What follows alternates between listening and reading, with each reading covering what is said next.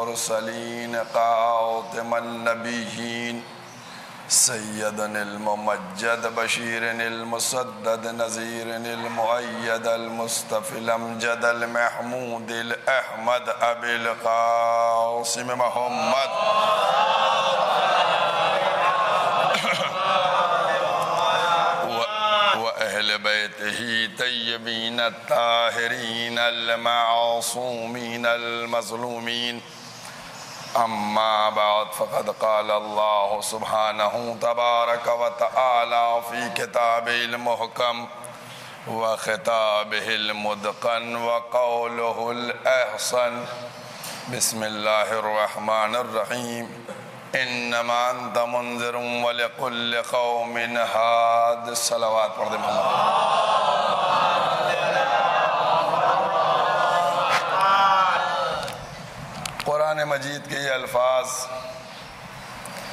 जो तेरहवें सूर्य की सातवीं आयत के अल्फाज हैं, जिनको मुसलसल सरनामा करार देकर इस सिलसिले गुफ्तु को आगे बढ़ाया जा रहा है।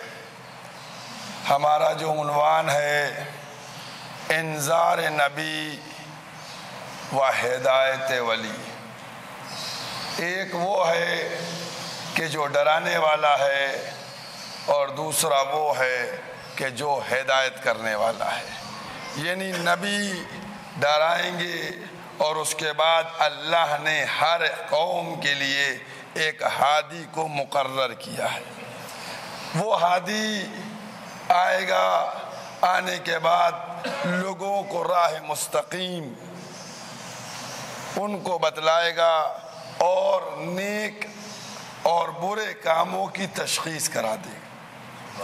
अगर आप गौर कीजिए तो कुरान करीम से पहले जो किताबें नाजिल हुई, चाहे तौरेत हो, इंजील हो, ज़बूर हो, इन तमाम किताबों में जब भी बात की गई, या अल्लाह की बात की गई, या रसूल की बात की गई।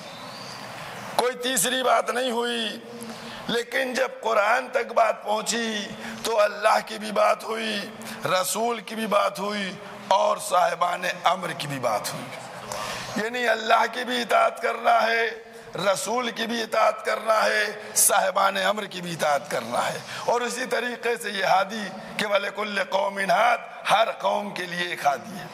आप देखिए, कुरान करीम का तीसरा सूरा, चौथा सूरा और आयत का निशान उनसठ, जिसमें आवाज़ दी जा रही है कि परवरदिगार आलम, अल्लाह की, बता, अल्लाह की इतात करो, रसूल की इतात करो, और किसकी? साहेबान अमर की इतात करो। जब अल्लाह की इतात की बात हुई, सब मुत्तफिक रहे कि उस अल्लाह की इतात करना है। जब साहिबान अमर की जब रसूल की दाद की बात हुई तो सब मुतफिक रहे कि रसूल की दाद होना है। लेकिन जैसे ही साहिबान अमर का लफ्ज आया, अब लोग कहने लगे कि इससे मुराद वो हैं कि जो हाकिम हो, इससे मुराद वो हैं कि जो तख्त के ऊपर बैठे हो, इससे मुराद वो हैं कि जिनकी उस वक़्त हुकूमत हो। मैंने कहा, नहीं, इससे मुराद वो नहीं हो सकते हैं, क्योंकि कभी कोई मुनाफिक भी बैठ सकता है, कभी कोई काफिर भी बैठ सकता है, कभी कोई मुशरक भी बैठ सकता है। हमसे इसरार किया गया, कहा, नहीं, इससे मुराद वही है। तो मैं कहना चाहूँगा, अगर तुम्हारा अकीदा यही है कि साहेबान हमसे मुराद, जो हाकिम है उसकी इतात की जाए तो फिर अब जो तलाक का कानून बने, मान लो, जो निकाह का कानून बने, मान लो। सलावाद पढ़ दो मोहम्मद वाले मोहम्मद।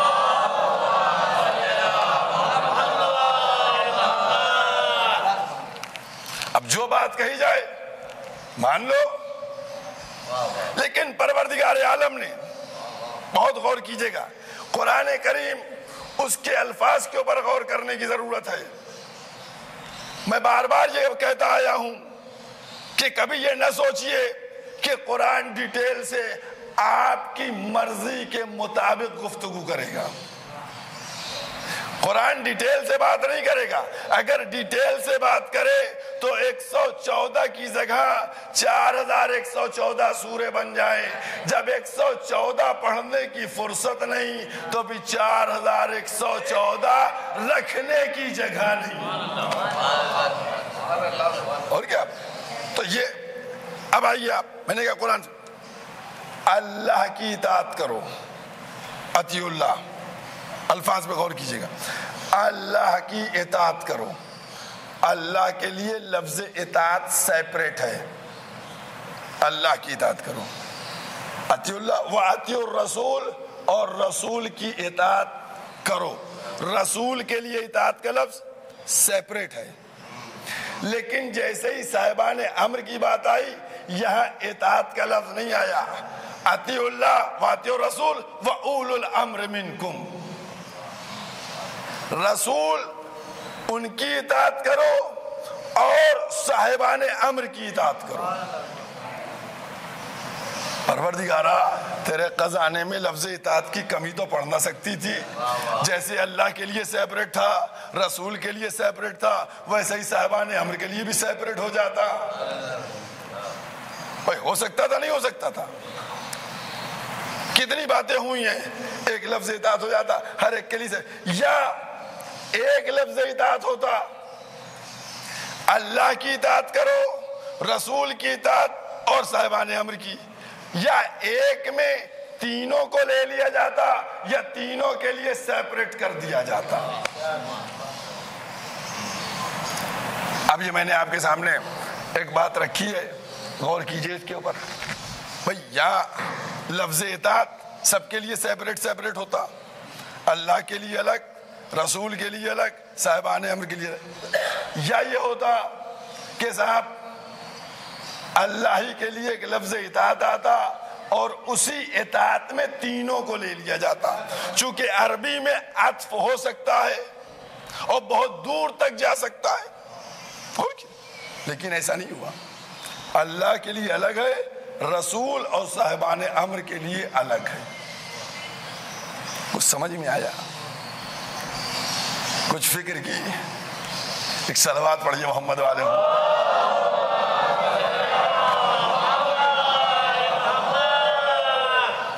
देखिए, अल्लाह के बाद इतात का लफ्ज है।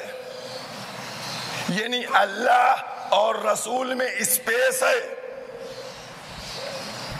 अल्लाह और रसूल में स्पेस है। अब अगर इतात रसूल के बाद लफ्ज लेके आते, साहिबान अम्र। तो साहिबान अम्र और रसूल में बेला फ़सल न रहता इतात बीच में आ जाता। अगर लफ्ज इतात आती तो बिला फ़सल कैसे होते? खालिक ने कहा, हमको लफ्ज इतात का भी फासला गवारा नहीं। साहिबान अमर जो होंगे, वो बेला फ़सल होंगे। ये अजमत अहले बैत है, ये मरतबा है बैत का। और इस देखिए, मैंने कहा, इस तरीके से समझाया जा रहा है, इस तरीके से बतलाया जा रहा है कि साहेबान अमर कौन हैं? इनका रसूल से क्या रिलेशन है? और फिर रसूल की लफ्ज इतात के ज़रिए उसी से साहिबान अम्र को जोड़ा। इसका मतलब क्या हुआ? इसका मतलब जो साहिबान अम्र होंगे, वो रसूल से होंगे। मैंने मैंने बहुत ही सोच के लफ्ज की, इस्तेमाल किया है। है ना? से कहा है ना? रसूल के तो नहीं कहा। देख रहे हैं एक एक लफ्ज के ऊपर बात होती है। से कहा है?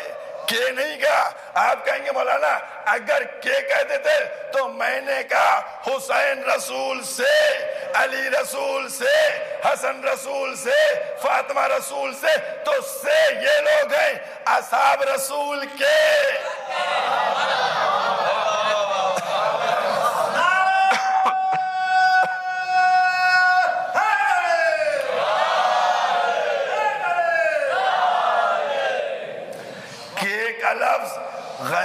लिए यूज़ हो जाता है। का लफ्ज अपनों के लिए यूज़ होता है। इसलिए जो रसूल से हैं मंजिल है अजमत है। और आप देखिएगा, और एक एक मंजिल के ऊपर कसम खुदा की, क्या मंजिल बयान की जा रही है? आज कुरान, देखिए, अगर नबी की अजमत को समझा जाता प्रॉब्लम कहाँ से शुरू हुई? एक दो जुमले ये भी आपसे बयान कर अल्लाह के रसूल ने कहा, कुल, अल्लाह ने कहलवाया कुल, मोहम्मद कह दो इनमा अना बशर मिसलकुम, मैं तुम जैसा बशर हूँ। है ना? रसूल ने, तुम जैसा बशर हूँ। बस ये तुम जैसा बशर लेके सारा मुसलमान दौड़ा के रसूल, हम जैसे, हम रसूल जैसे आप सब एक से हो गए। और क्या आपने? लेकिन मुसलमान जो नबी की नबी का कलमा तो पढ़ता है अजमत तो है, उसको ये नहीं मालूम। आदम नहीं कह सकते हम मोहम्मद जैसे, नू नहीं कह सकते हम मोहम्मद जैसे, इब्राहिम नहीं कह सकते कि हम मोहम्मद जैसे। तो जहाँ नबी मोहम्मद जैसे ना हो, वहाँ ये मुल्ला मोहम्मद जैसा।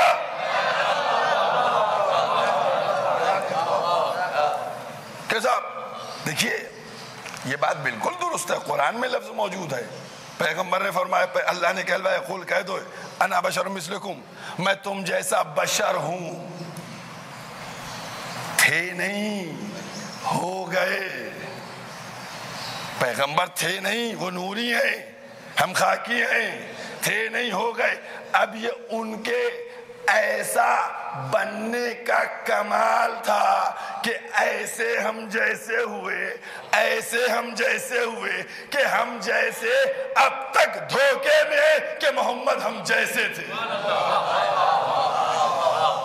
और क्या आपने थे नहीं? उनकी क्या आजमत? और आपकी क्या? और की तो पैगंबर हम हाँ पैगंबर ने कहा, हम तुम जैसे, लेकिन ये एक एक लफ्ज के ऊपर गौर कीजिएगा। लेकिन ये नहीं कहा कि तुम हम जैसे। पैगंबर ने क्या कहा? हम तुम जैसे, ये कहा। लेकिन ये नहीं कहा कि तुम हम जैसे।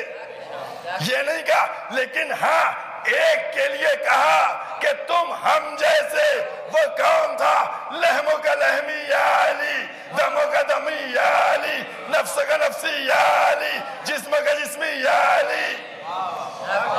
एक अली के लिए आवाज़ दी कि अली, तुम मुझसे हो। तुम मुझ जैसे हो। पूरी तारीफ़ एक जात है अमीरुल मोमिनीन की। कि जिसको कहा? आपने गौर किया? मैंने भी क्या कहा?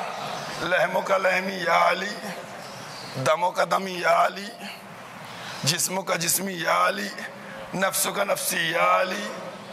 और क्या आपने कई दफ़ा या अली कहा? एक हदीस में पाँच दफ़ा या अली कहा है। एक हदीस में पाँच दफ़ा या अली कहा है। मैंने वही कहा कि जैसे अभी आयत के सिलसिले में कह रहा था, अगर एक दफ़ा या आली कहा जाता तो काम चल सकता था। या अली लहम का लहमी, दमो का दमी, जिस्म का जिस्मी, नफ्सों का नफसी। एक दफ़ा ये आली कहा जाता और सब उसी के अंडर में आ जाता। लेकिन नहीं, हर सेपरेट याली याली याली याली याली और क्या है? अब मुसलमानों से पूछिए।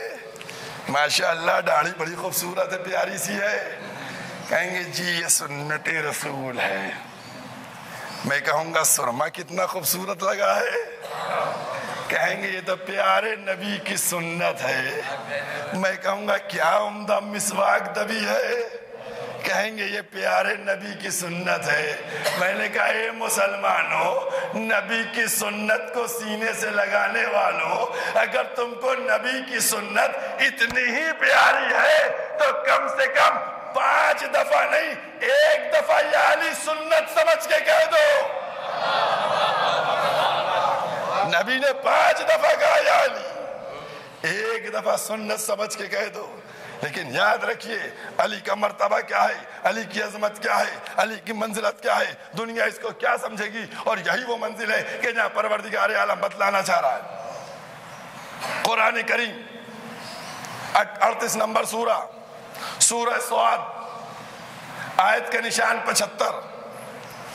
जाकर देखिएगा, मैं तो रोज एक मिसाल ला के लगाता हूँ। आदम के वाक़े से। इबलीस से। मैं रोज कुछ न कुछ ज़ोर देता हूँ कि आज जो हो रहा है, उसके प्रॉब्लम न समझिएगा। इसकी इब्तदा इबलीस से है। वहाँ से लेके आइएगा। अब आइए। अड़तीस नंबर सूरा, पचहत्तर नंबर आयत। जाकर देखिएगा इतमान से। बरता इबलीस से परवरदिगार कह रहा है। जब इबलीस ने सजदा नहीं किया तो कहा जा रहा है कि तूने तकबर किया। आम कुंता मिनल आलिन।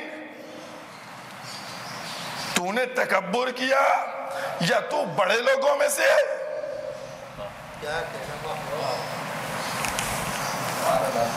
है कुरान है। हवाला हवाले हुआ ना।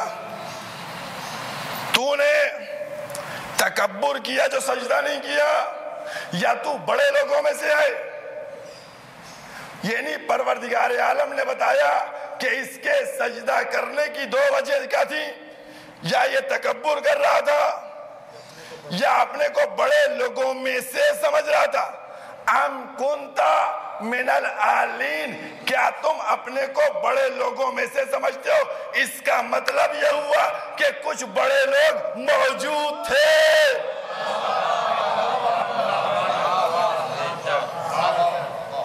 आलीन। आलीन आलीन। ये किसकी जमा है? आली की जमा है। आली का मतलब क्या हो? बुलंद मरतबा। अली का नाम, माना क्या हुआ? बहुत तवज्जो कीजिएगा। बुलंद मरतबा, अफजल, वो लोग मौजूद थे। क्या तू उनमें से समझ रहा है? इसका मतलब जो मौजूद थे, उन्होंने आदम को सजदा नहीं किया। तभी तो खालिक ने कहा, अम कुंता यानी जो बुज़ुर्ग हैं, जो अफजल हैं, जो आला हैं, वो सजदा नहीं करेंगे।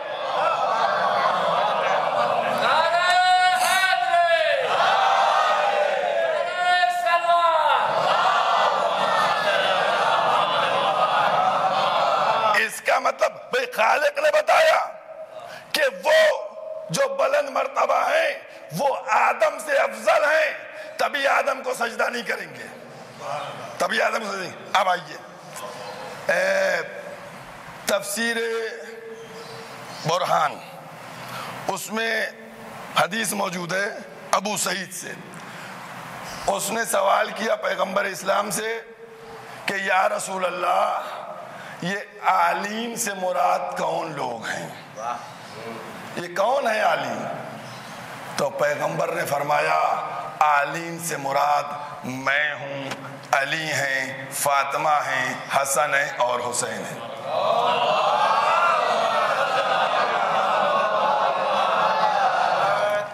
और अभी बात नहीं खत्म हुई। आलिन से मुराद कौन है? अली हैं मोहम्मद फातिमा हसन हुसैन ये आलीन से मुराद है। अब पैगंबर ने दूसरा जुमला फरमाया कहा, आदम की खिलकत से दो हज़ार साल पहले हमारी तखलीक हुई और हम तस्बी कर रहे थे। हमसे फरिश्तों ने तस्बी सीखी। नहीं गौर किया आपने। एक एक लफ्ज पढ़ा हुआ बतला रहा हूँ आपसे। कि 2000 साल पहले तकलीफ़ हुई और फरिश्तों ने किससे सीखा? पंजतन पाक से सीखा। अब मुसलमानों, तुम जरा सा कसम खा के बताओ कि फरिश्ते जिससे सीखे, वो है आले मोहम्मद या जिबलील ऑपरेशन करके मोहम्मद को पढ़ाए।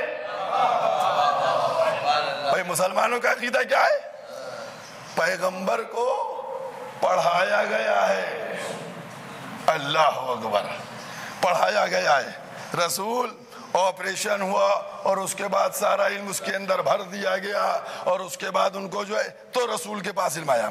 कसम खुदा की, आप देखिए तो मैं यही बात तो कहता चला आ रहा हूँ कि अगर अजमत पैगंबर का इकरार कर लेते तो फिर कोई प्रॉब्लम ही नहीं थी।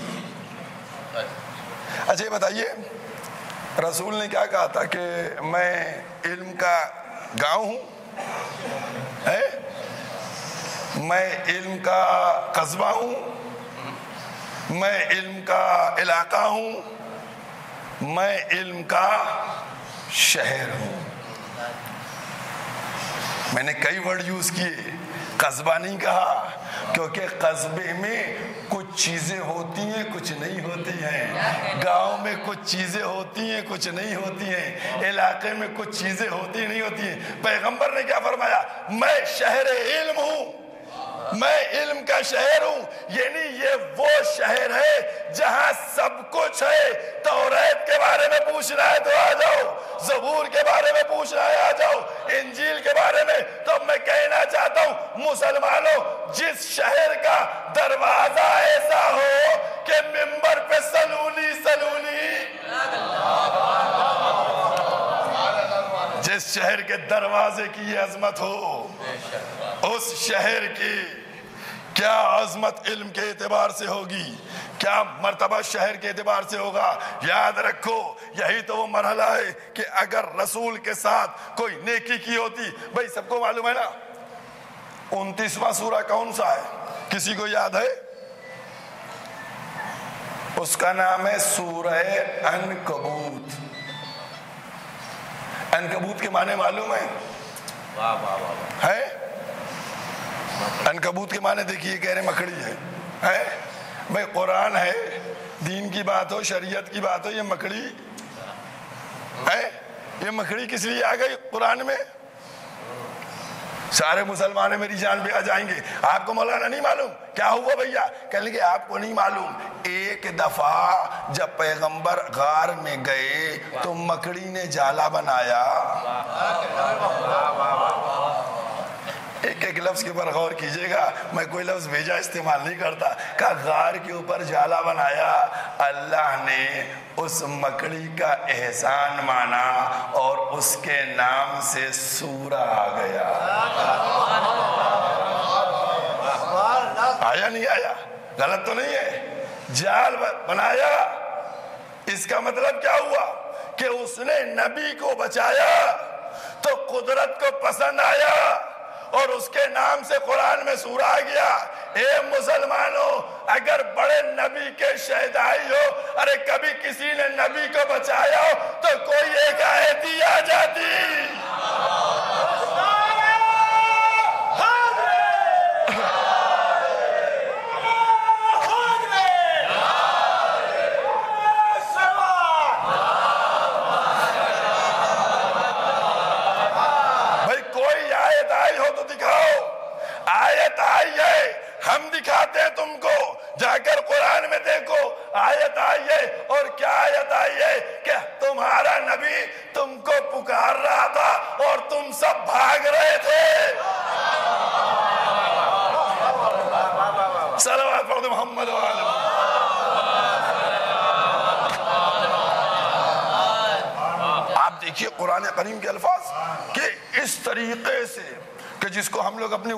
जबान में कहते हैं ना कि सर पर पैर रखिए, कुछ सुन ही नहीं रहे। वो भागे जा रहे आप देखिए, मैंने कल कुरान मजीद का दूसरा सूरा सूरह बकर और उसकी दो सौ सत्तावन नंबर आयत जो आप लोग आयतल कुर्सी में पढ़ते हैं, उसको कहा था ना कि कुछ का जो मोमिन है, उनका वली अल्लाह है और जिन्होंने कुफ्र इख्तियार कर लिया, उनका वली शैतान है। है ना? अब देखिए, दोनों के है ना? अपने अपने। अब आए। दूसरे दिन कहा चले गए थे? कहा चले गए थे? कहने या रसूल अल्लाह वो हमने जब ये सुना कि आप नहीं रहे, शहीद हो गए तो हमने कहा भी अब हम क्या यहाँ रह कर करें? पैगंबर ने फरमाया कि मैं तुमको बुला रहा था, वो इबलीस था। ओहद के मैदान में इबलीस भी बोल रहा था, जिबरील भी बोल रहे थे। जिबरील कह रहे थे, मोहम्मद कत्ल नहीं हुए, आओ। इबलीस कह रहा था, मोहम्मद कत्ल हो गए, जाओ। है ना? मोहम्मद कत्ल हो गए, जाओ। अब दो थे आवाज़ें ना? एक इबलीस की थी, एक जिबरील की थी। अब ये हमसे न पूछिए भैया कि किसने किसकी मानी। भाई, किसने किसकी मानी? कौन जिबरील की मान के मोहम्मद की नुसरत के लिए रुका रहा? कौन इबलीस की मान के मोहम्मद को छोड़कर भाग गया? मैंने क्या कहा था कि जो काफिर होते हैं, वो सबका वली शैतान होता है। तो अपने वली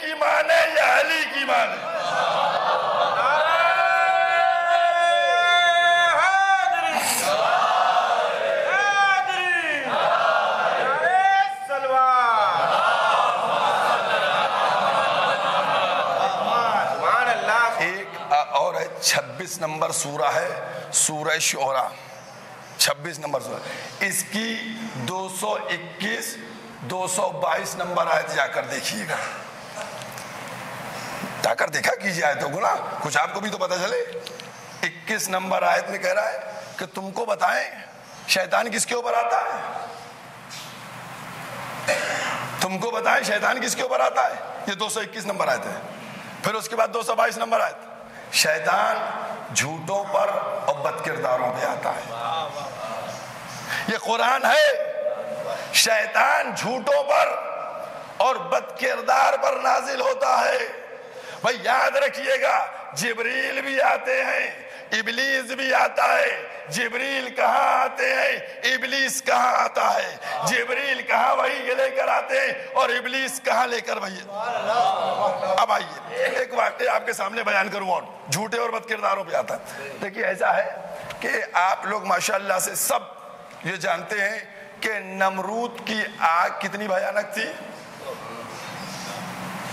नमरूद की आग कितनी भयानक थी? परिंदे ऊपर से जो जा रहे थे, वो गिर रहे थे।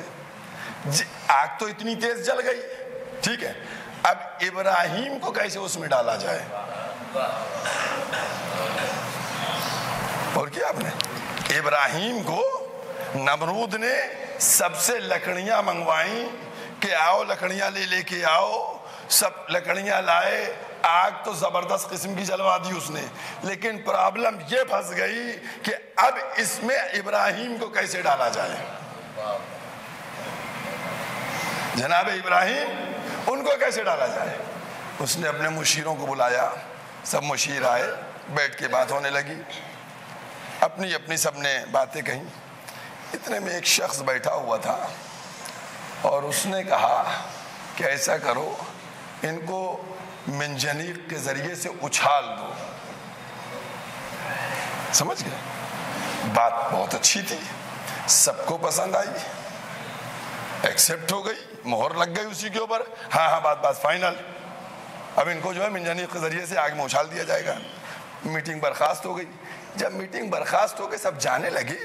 तो एक दफ़ा नमरूद ने आवाज़ दी क्या ये बताओ, तुम हो कौन? क्या ये बताओ, तुम हो कौन? तुम हमारे मुशीर में से तो हो नहीं। तुम हो कौन? और आए कहाँ से?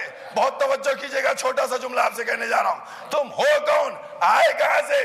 तो उसने एक दफ़ा कहा कि मैं इबलीस हूँ, जहाँ मासूम के खिलाफ साजिश होती है, मैं शरीक रहता हूँ।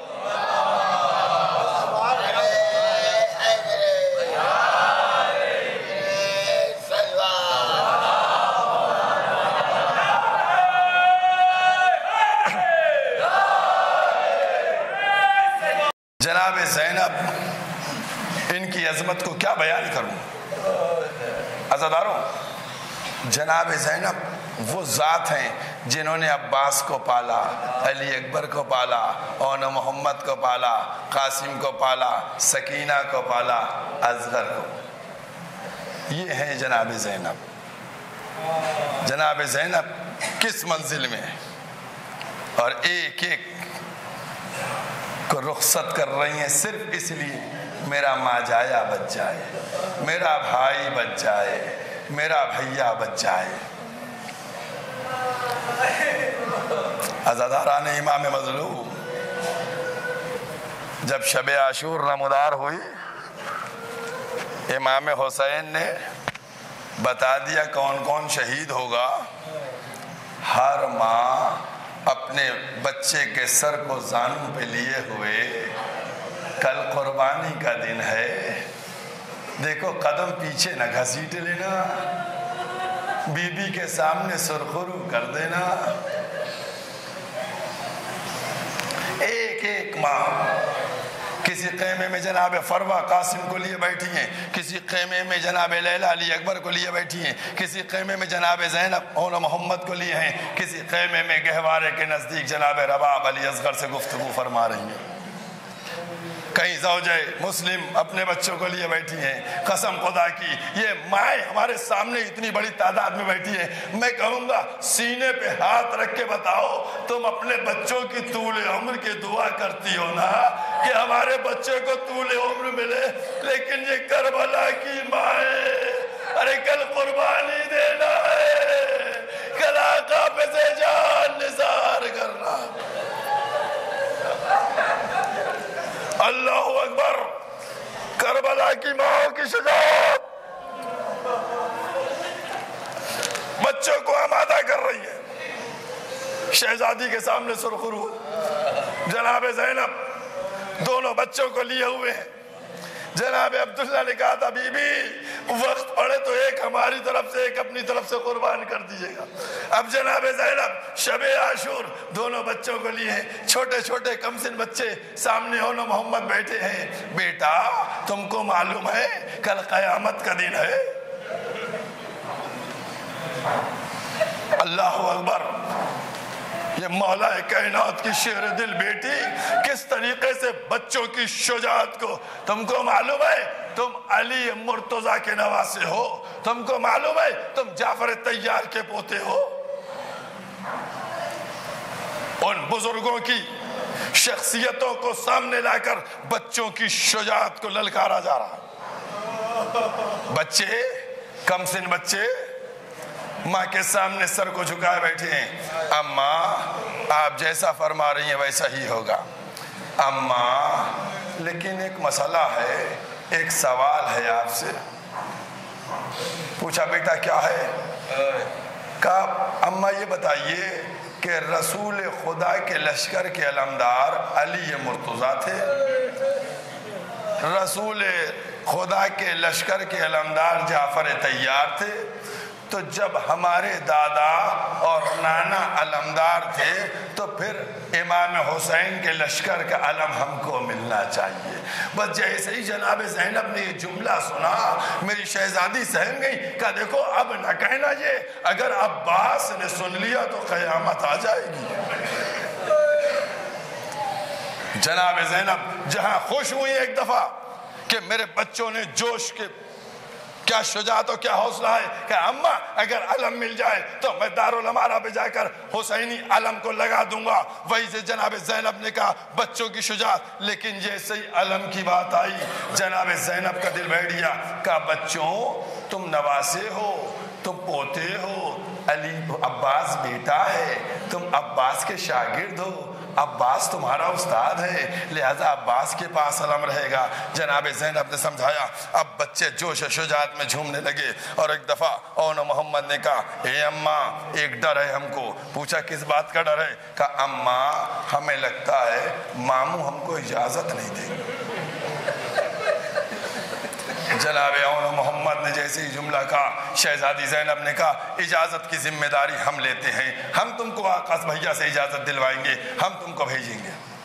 दोनों बच्चे जोश शुजात में झूमने लगे और उसके बाद अब वो वक्त आया कि अनसार असहाब, चाहने वालों का सिलसिला खत्म हुआ। अब माए अपने अपने बच्चों को लेके आगे बढ़ रही हैं। अब माए लेके बढ़। जनाब जैनब अपने बच्चों को आगे लेकर बढ़ी। कहा, आका, मेरे बच्चों को मरने की इजाज़त दे दीजिए। पीछे से जनाब मुस्लिम की सौजा ने आवाज़ दी, शहजादी, पहले मेरे बच्चे जाएँगे, क्योंकि मेरे बच्चों का बाप पहला शहीद है। अजादारों जिसका शौहर शहीद हो चुका दो बच्चों का पता नहीं उस माँ का क्या हौसला था। ए शहजादी, अरे आपके बच्चों का बाप अभी मौजूद है, लेकिन इन बच्चों का बाप पहला शहीद था। जजाकुमुल्लाह। जजाकुमुल्लाह। जनाब जैनब ने इजाज़त दी। जनाब जैनब, अपने बच्चों को लेके पीछे हटी। इमाम हुसैन ने इजाज़त दी। जनाब मुस्लिम अकील के बच्चे गए। जाने के बाद जंग की, बहुत बहादुरी से जंग की। दोनों बच्चे शहीद हुए लाश मख्तर में। अब उसके बाद इमाम हुसैन के सामने जनाब जैनब अपने बच्चों को लेकर पहुँची। बच्चों को देखा, आसमान का रुख किया परवर दिगारा ये वक्त आ गया कि अपने गोद के पालों के लाशें उठाओ। अदादारो मेरे मौला की गुर्बत का अंदाज़ा लगाओ। जब छोटे छोटे बच्चे हाथों को जोड़ के खड़े होंगे, ए मामू, ए आका, ए अम्मू, हमको मरने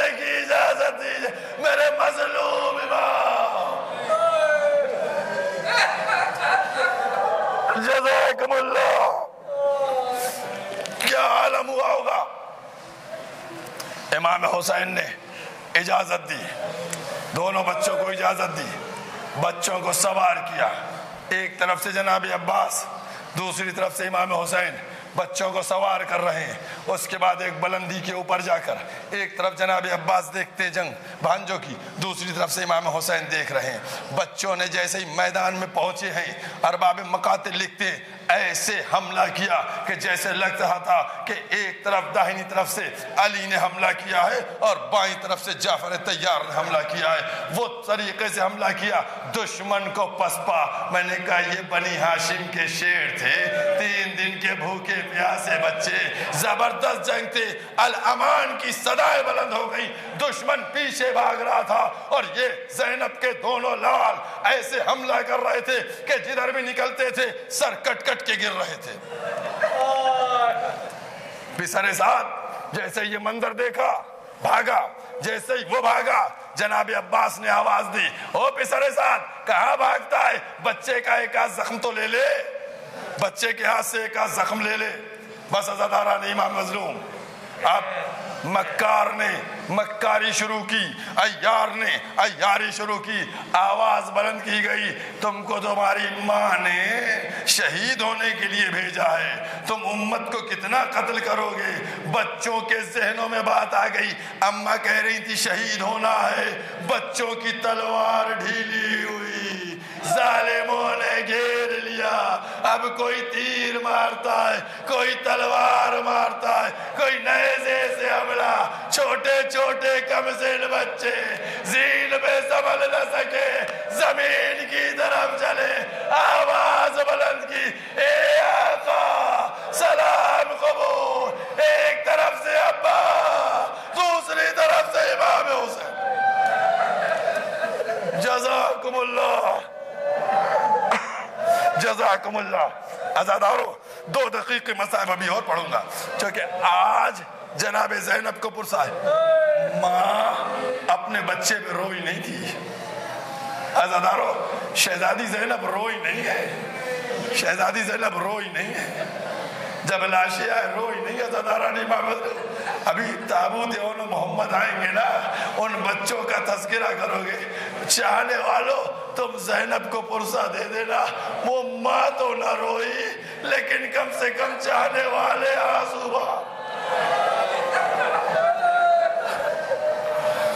बस अजादारो जनाब जैनब, इमाम हुसैन सराहने पहुँचे। अब्बास, सराहने पहुँचे। मैं एक नफसियाती जुमला आपसे बयान कर रहा हूँ। दोनों बच्चे दुनिया से रुखसत हो गए। जनाब जैनब, इमाम हुसैन को, जनाब अब्बास को कितना चाहती थी, बताओ। कोई बयान कर सकता है? कोई नहीं बयान कर सकता। कितनी मोहब्बत करती थी, कितनी उल्फत करती थी। अब सच बताओ, उस चाहने वाली बहन के बच्चों के लाशें एक अब्बास लिए हैं और एक इमाम हुसैन लिए अजादारो अब दोनों भाई एक एक लाशे को लेकर खेमे की तरफ़ बढ़ रहे हैं। मैं नहीं बयान कर सकता कि अब्बास पे क्या गुजर रही होगी, हुसैन पे क्या गुजर रही होगी। हाय मेरी बहन, उसकी कमाई उसने रुखसार कर दिया।